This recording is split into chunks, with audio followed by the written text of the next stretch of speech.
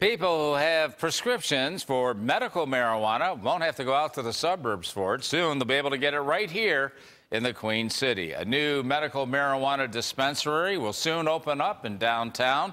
News 4 Shannon Smith is here to tell us why the company chose Buffalo to put down its roots. Shannon?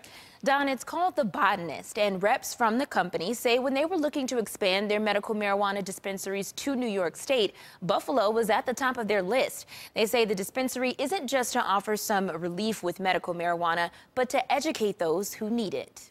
Botany. It's the study of plants. Here at The Botanist, a new medical marijuana dispensary, pharmacists will study their patients to find the best treatment for them. There's a lot of patients that we think we can help here. The first of four locations to open in New York State will start business soon on Seneca Street in downtown Buffalo. Here is where uh, patients will check out. Harris Domashek says he believes Buffalo is underserved when it comes to medical cannabis. It's a huge veteran population. We're in the middle of kind of a, a medical corridor with University of Buffalo and a number of other uh, medical institutions uh, that we hope to, to partner with. The botanist will sell different cannabis products, including pills and vapes. Sonia Parrish says it's not the typical cannabis retail store. Part of the patient experience will be education. So when they're sitting down with a pharmacist or when we have, uh, you know, educational material for them. But the goal is the same, to help patients with certain illnesses get some relief. When those patients uh, see their, their physicians and their doctors,